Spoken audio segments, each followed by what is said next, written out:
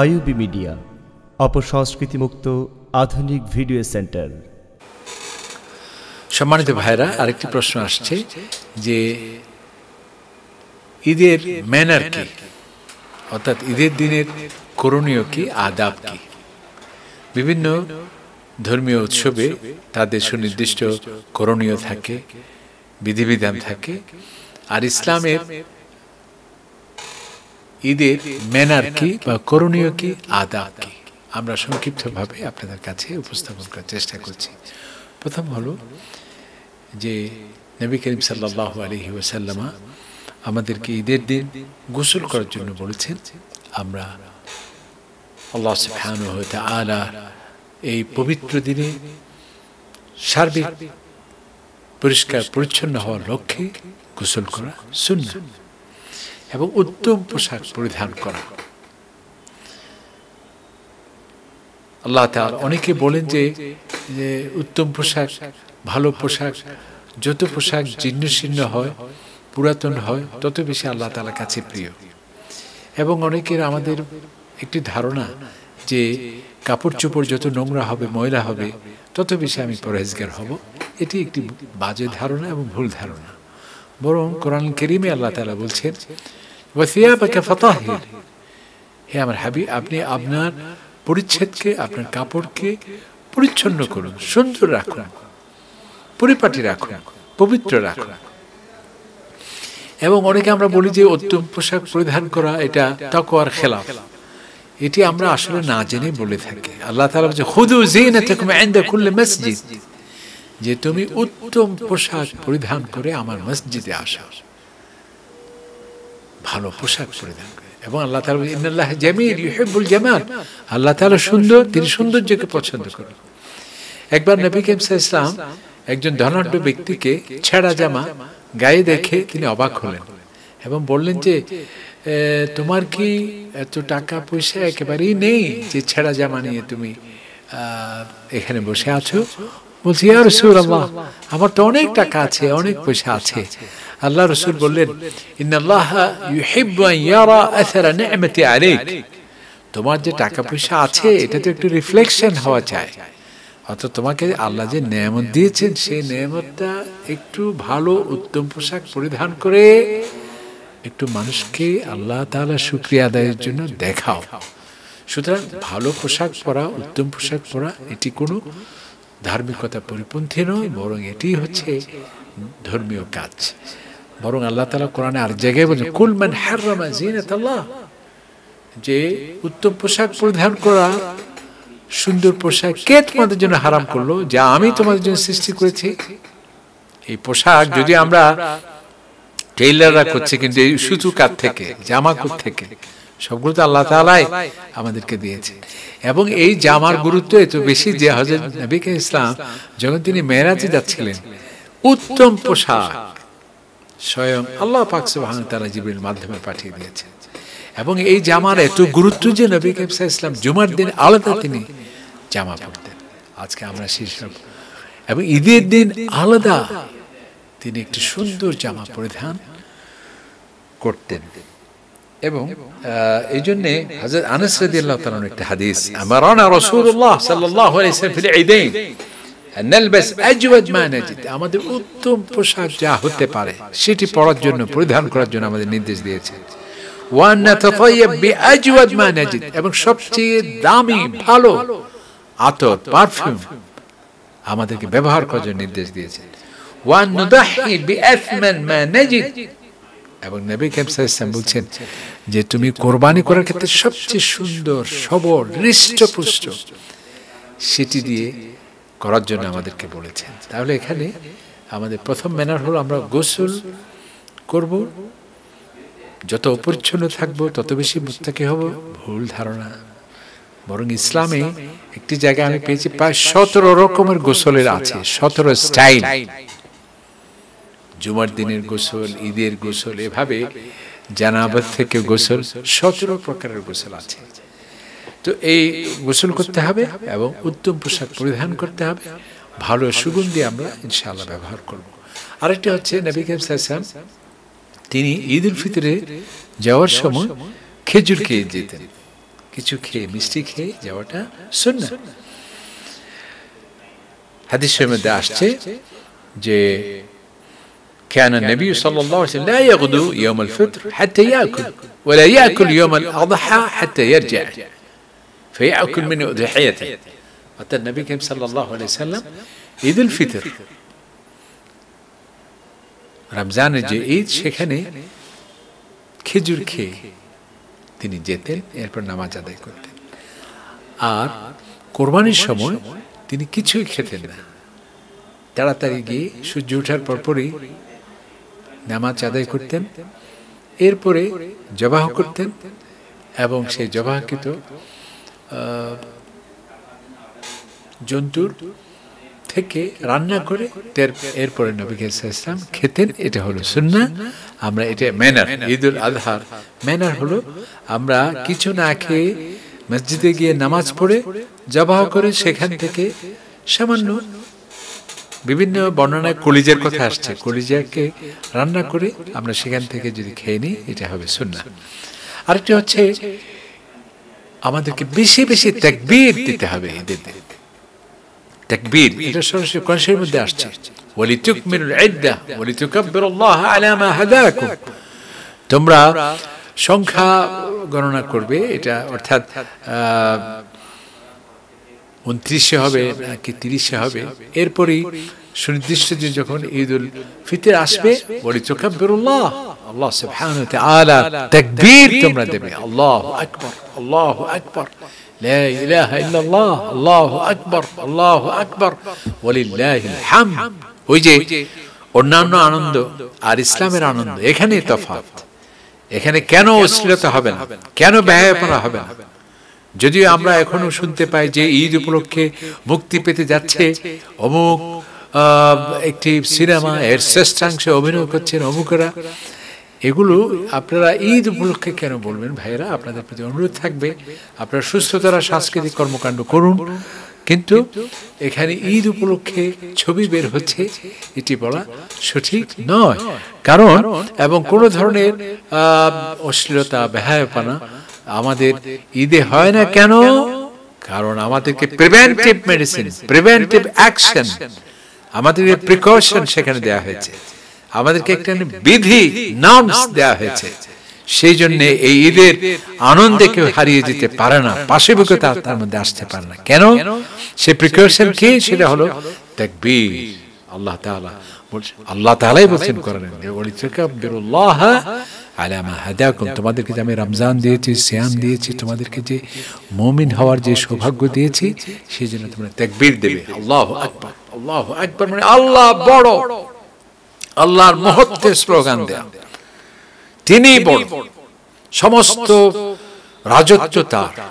তিনি প্রশ্ন করবেন, তাকে প্রশ্ন করার কেউ নেই। আল্লাহ বহু ইউসাল লা মুআক্কিবা লিহুকমিহি তার সিদ্ধান্তকে পুনর্বিবেচনা করার কেউ নেই। তার সিদ্ধান্তকে এক্সপান্স করার ক্ষমতা কারণে। আল্লাহ বলছেন সেই বড়ত্ব সেই মহত্বের স্লোগান আমাদেরকে দিতে হবে। তাহলে এই ধরনের আর কোন ব্যয়পনা আসবে না। এবং কোরবান ঈদ উল আজহাতেও আমাদেরকে আল্লাহ তালা জিকির এবং তাকবীরের নির্দেশ রয়েছে। আল্লাহ তাআলা বলছেন ওয়াজকুরুল্লাহ ফি আইয়ামিন মা'লুমাত তোমরা সেই সুনির্দিষ্ট দিন, অর্থাৎ আইয়াম তাশরিক এখানে বলা হয়েছে, আল্লাহ তালা তাকবীর আমাদেরকে দিতে হবে। ঈদের দিন আরেকটি হচ্ছে নবী কাইম ইসলাম তিনি এক রাস্তা, যে রাস্তা দিয়ে যেতেন, একটা নতুন একটি রাস্তা দিয়ে যেতেন, আবার আসার সময় ভিন্ন একটি রাস্তা দিয়ে আসতেন। এটি একটি সুন্না এটি হচ্ছে যাতে বেশিরভাগ মানুষের সাথে দেখা হয়, যাতে শুভেচ্ছা বিনিময় হয় সেই জন্যে এটি একটা শূন্য এক রাস্তা দিয়ে যাওয়া এবং আরেক রাস্তা দিয়ে আসা। আরেকটি হলো নবী কাম সাল্লাহ সাল্লামা এই ঈদের নামাজ তিনি খোলা ময়দানে আদায় করতেন, খোলা ময়দানে। মসজিদে খুবই ঈদের নামাজ মসজিদের পরিবর্তে খোলা ময়দানে তিনি আদায় করতেন। তবে একবার প্রাকৃতিক দুর্যোগ, বৃষ্টি হয়েছিল, তখন তিনি নবী গেছে মসজিদে নামাজ আদায় করতেন। আজকে এই করোনাকালীন সময়ে, দেখো সেই নজির নবী ইসলাম দেড় হাজার বছর আগে আমাদের দেখিয়ে দিয়েছে। সুতরাং এখন খোলা ময়দানে যেহেতু কঠিন ছোঁয়াচে মুহূর্তে মানুষ আক্রান্ত হয়ে যেতে পারে শ্বাস প্রশ্বাসের মাধ্যমে। ইদানিং বলা হচ্ছে ওয়ার্ল্ড হেলথ অর্গানাইজেশন সেটি বাতাসের মাধ্যমে উঠছে যেটা আগে বলা হতো না। সেই জন্য সরকার যে ঘোষণা দিয়েছে ঈদগাহে নয় বরং মসজিদে নামাজ আদায় করা এবং আমরা যাতে এখানে আবেগ আপ্লুত হয়ে না ওখানে সব বেশি না। আমাদের নবী করিম সাল্লাহ সাল্লাম বৃষ্টির সময় একদিন একবার তিনি মসজিদে ঈদের নামাজ আদায় করেছেন তার মানে হলো আমরা এই কঠিন সময়ে মসজিদে নামাজ আদায় করতে পারি ঈদগাহে পরিবর্তে। আরেকটি হলো এই যে শুভেচ্ছা, আমরা যে কোনো বিষয়ে কংগ্রেচুলেশনস বলি, যা কংগ্রেচুলেট করি বা একে অপরে শুভেচ্ছা বিনিময় করি, সেটিও নবী করিম সাল্লাহ আলি সাল্লামই আমাদের শিখিয়ে দিয়েছেন। সাহাবাই কালাম যখন ঈদের দিন একজন আরেকজনের সাথে দেখা হতো, অর্থবহ শুভেচ্ছা বাণী তারা দিতেন, সেটা কি তাকাব্বার আল্লাহ মিন্না ওমিনকুম আল্লাহ তালা আমাদের আমল কবুল করুন আপনার পক্ষ থেকে আমার পক্ষ থেকে। এভাবে ঈদ মুবারক ঈদ ঈদ এগুলো দেওয়া যায়। আরেকটি হচ্ছে ঈদের দিন ভালো খাবারের আয়োজন করা। ভালো খাবারের আয়োজন করা। সেটি এটিও একটি ঈদের মেনার নবী কাইম সাল্লাল্লাহু আলাইহি ওয়াসাল্লাম বলছেন আইয়ামুত তাশরিক আইয়াম আকিল ওয়া শুরব ওয়া যিকরিল্লাহ। এই কোরবানি এবং এর পরের দুই দিন সেটি কি আমাদের আনন্দের দিন আমাদের ভালো খাবারের দিন পানাহারের দিন এবং আল্লাহর বিকিরের দিন। সুতরাং এদিনে ভালো খাবারের ব্যবস্থা করা, সেটি এটি কোনো এটিও একটা ম্যানার আমার ম্যানারের মধ্যে পড়ে। আরেকটি হচ্ছে, ঈদের দিন আমরা আনন্দ প্রকাশের জন্য আমরা ইসলামী সংগীত ইসলামী সঙ্গীতের আমরা পরিবেশন করতে পারি নবীকে ইসলামের শানে ইসলামী গান হতে পারে আল্লাহ তালা শানে গ্রাম হতে পারে অথবা অথবা যে সমস্ত গান যেগুলো মানবিকতার কথা বলে যেগুলো ইতিহাসের কথা বলে গৌরব গাথার কথা বলে এবং যেগুলো পবিত্র এবং নির্মল যেগুলো উত্তম চরিত্রের কথা বলে দেশাত্মবোধক দেশের প্রেমের কথা বলে মানবতার কথা বলে এবং যেগুলো আমাদের এই পৃথিবী আসল ঠিকানা নয় সেসব কথা বলে এবং আমাদেরকে অশ্লীলতা এবং ব্যয়াপনা থেকে বেঁচে থাকার কথা বলে এবং আমাদের ভাতৃত্বের বন্ধনের কথা বলে। মানুষে মানুষে মিতালির কথা বলে পারিবারিক বন্ধনকে সুসংহত করার কথা বলে। স্বামী স্ত্রী মাঝে এই মধুময় দাম্পত্য জীবনের সুন্দর সুন্দর সেই গান যেগুলো আছে সেগুলো এই ঈদের দিন সেগুলো পরিবেশন হতে পারে। ইসলামিক নিয়ম অনুযায়ী যেটা আমরা নবী করিম সাল্লাহ আলি সাল্লাম হজরত আইসা সিদ্দিকা রদি আল্লাহ তালানহা সেখানে ছোট্ট মেয়েরা গান করছিল। হজরত আবকর দিয়ে তারা বাধা দিচ্ছিলেন নবী ইসলাম বলছে ইন্নাল ইয়ম ঈদ না যে আজকে হলো কিন্তু আমাদের ঈদের দিন তুমি বাধা দেবে না। তবে তাই মানে তার মানে এই নয় যে কোনো অশ্লীল অসুস্থ ধারা সাংস্কৃতিক কর্মকাণ্ড চলা যাবে না। যেটা আজকে আমরা মৌলানা সাহেবরা কেন আজকে যারা ফিল্ম ইন্ডাস্ট্রিতে যারা কাজ করে, সেই অভিনয় যারা কাজ করে, তারাই বলছে যে আমরা সুস্থ ধারা সাংস্কৃতিক কর্মকাণ্ড আমাদের মাঝে ফিরে আসতে হবে এবং অসুস্থ ধারা সর্ম সংস্কৃতি সেটি আমাদের সমাজকে অসুস্থ করছে, আমাদের যুব সমাজ ক্ষতিগ্রস্ত হচ্ছে, তারাই বলছেন আজকে, এই জন্য ঈদের দিন আমরা ইসলামী সংস্কৃতি, ইসলামী তাহাজিব তামাদ্দুন, আল্লাহর প্রেম, নবীর প্রেম মানবতার প্রেম, দেশ প্রেম এইসব সংগীত যেগুলো আছে, সেগুলো আমরা সেগুলো আমরা পরিবেশন করতে পারি। তো পরিশেষে আমরা আরেকটি কথা বলতে চাই, যে যেহেতু করোনার ঝুঁকি এখনও চলছে এখনও অনেক মানুষ আক্রান্ত হচ্ছে আলহামদুলিল্লাহ আমাদের অনেক আমাদের ডাক্তার সাহেবানরা অনেক কষ্ট করছে জীবনের ঝুঁকি নিয়ে। অনেক পরিচ্ছন্ন কর্মী জীবনের ঝুঁকি নিয়ে তারা কাজ করছে। এবং অনেক মসজিদের যারা মোয়াজ্জিন খাদে কত কষ্ট করে জীবনকে ঝুঁকি নিয়ে পাঁচ অক্ট মসজিদে তারা থাকছে। এই জন্য আমাদের সকলের প্রতি অনুরোধ থাকবে, এই সমস্ত ভাইরা যারা ঝুঁকিতে আছে, বিশেষ করে মসজিদে যারা খাদেম আছেন, ইমাম সাহেব আছেন, খুবই অল্প অল্প সম্মানিত, নামমাত্র সম্মানিত তারা মসজিদের এই বিশাল দায়িত্বে আছেন, যাদের আমাদের সঙ্গতি আছে, সচ্ছলতা আছে। আমরা আল্লাহ রসুল বলছেন, এই দুর্দিনে বা সুদিনে তোমরা হাদিয়া দাও, উপরোগন দাও, এতে তোমাদের মহব্বত বাড়বে। সুতরাং আমাদের যারা মোয়াজ্জিন আছেন, আমাদের যারা ইমাম সাহেব আছেন, আমাদের যারা পরিচ্ছন্ন কর্মী আছেন, এবং জাতি, ধর্ম, বর্ণ নির্বিশেষে হ্যাঁ যে কোনো যে ধর্মেরই লোক হোক না কেন, যে এই যে আপনার ড্রেন যারা পরিষ্কার করছে, আপনার সিটি কর্পোরেশনের লোক যারা পরিচ্ছন্ন করছে, ঈদের দিন আপনার যে পরিচ্ছন্ন থাকে, হাঁটতে পারবেন? তাদের প্রতি আমাদের সম্মান প্রদর্শন করতে হবে এবং তাদেরকে যতটুকু সম্ভব আমরা হাদিয়া তোহফা আমরা এখানে দিতে পারি। এবং সেই সাথে আমাদের ডাক্তার সাহেবরা যারা ঝুঁকি নিয়ে কাজ করছে, তাদেরকে আমরা সম্মান প্রদর্শন করছি।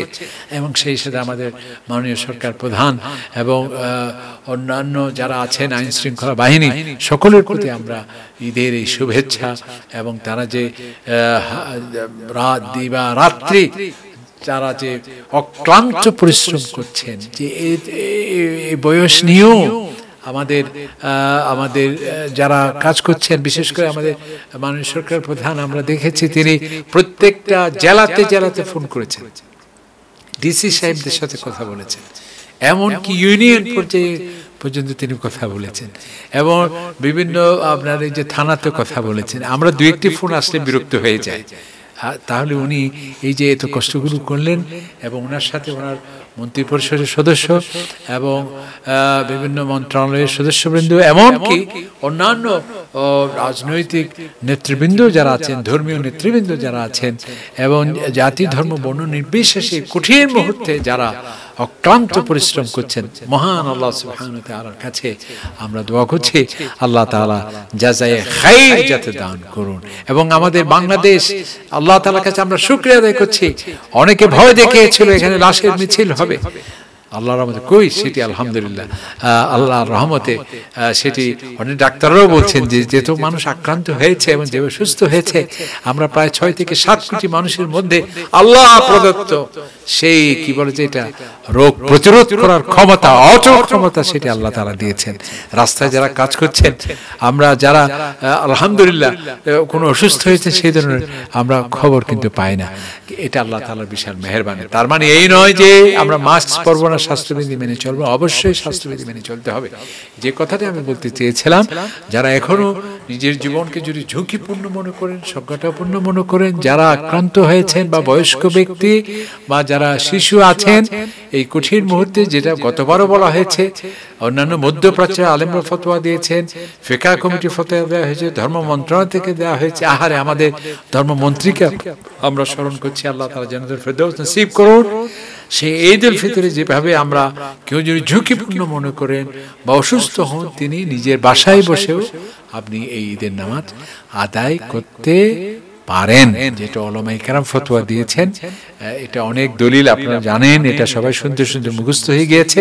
সুতরাং এখানে যারা ঝুঁকিপূর্ণ মনে করবেন বা যারা ইনফেক্টেড হয়েছেন বা যারা এই ধরনের জীবাণু ক্যারি করছেন বা যারা এই ধরনের ঝুঁকিপূর্ণ হাসপাতাল সহ অন্যান্য জায়গায় আমরা যাই, এই ধরনের ব্যক্তিরা যাতে অন্যান্য মানুষের মাঝে এটি সংক্রমিত না হয় সেই জন্য আমরা ব্যক্তিগতভাবেও আপনি এই ঘরে বসেও এই নামাজ আদায় করা যায়।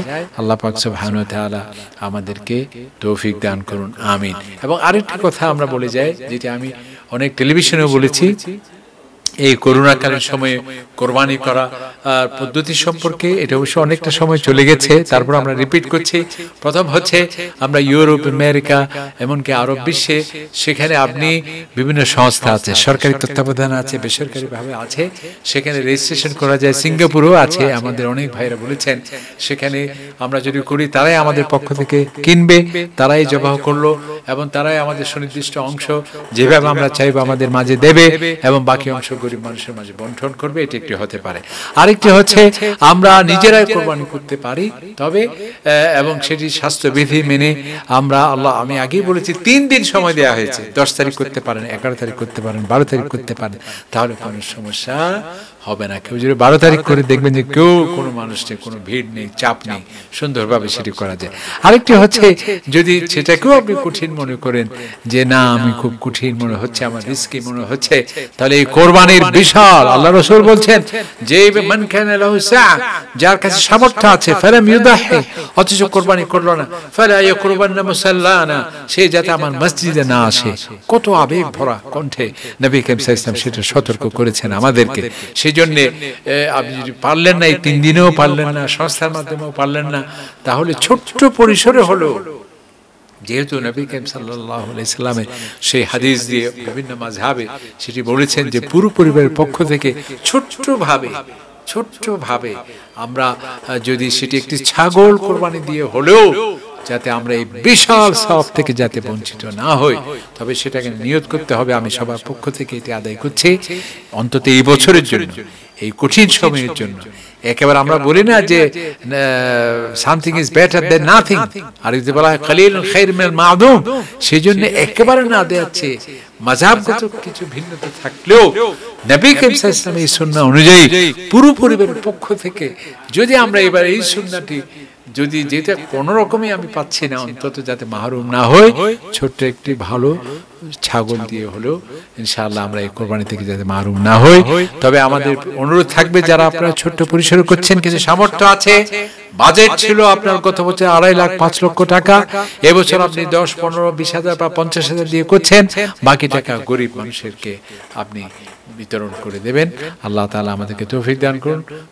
আলহামদুলিল্লাহ আলমিন। আসসালামু আলাইকুম রহমতুল্লাহ বারাকাতুহু।